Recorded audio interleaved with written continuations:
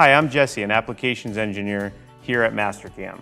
In this video, I want to show you the new copy functionality that has been added to push-pull inside of Mastercam 2020. Many times, it's easier to actually directly edit the solid model using model prep functionality versus using some of the older solids tools. In previous versions, you couldn't create a new body using push-pull, but now in Mastercam 2020, that's possible. Let's take a look. I'm going to start by splitting the solid face. I already have the wireframe that I need drawn, so I'm going to go to the Model Prep tab, and under the Direct Editing group, I'm going to launch Split Solid Face. When the function launches, it prompts me to select the wireframe and the face to split. I'm going to hold the Shift key while I select my wireframe so that Mastercam selects the entire chain and not just the entity that I'm clicking on. Next, I'm going to click on the solid face that I want to split.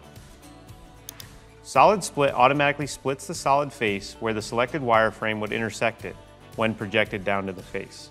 Close the Split Solid Face function by clicking the green check. Next, we are going to go back to the Model Prep tab and in the Direct Editing group, select Push Pull. Inside the Entity group and Push Pull, we now have two radio buttons. When Move is selected, Push Pull functions exactly as it did in Mastercam 2019. In Mastercam 2020, we now have the option to choose Copy. This creates a new solid body from the face that we select. With the radio button set to copy, I am going to select the new face that we created with split solid face.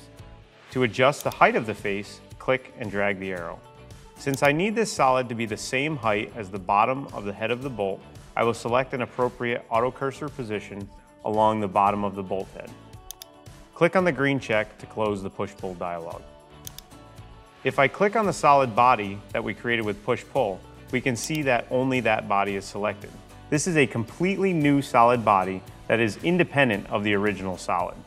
This new solid body is going to be used as a washer for the fixture bolt to hold down the part. So now we need to fill in this solid body.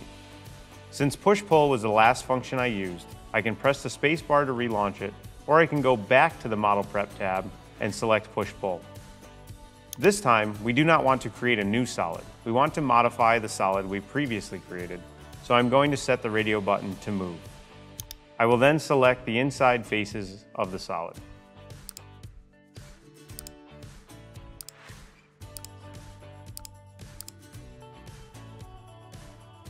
With the faces selected, I will click and drag the arrow until the faces meet, creating a complete solid.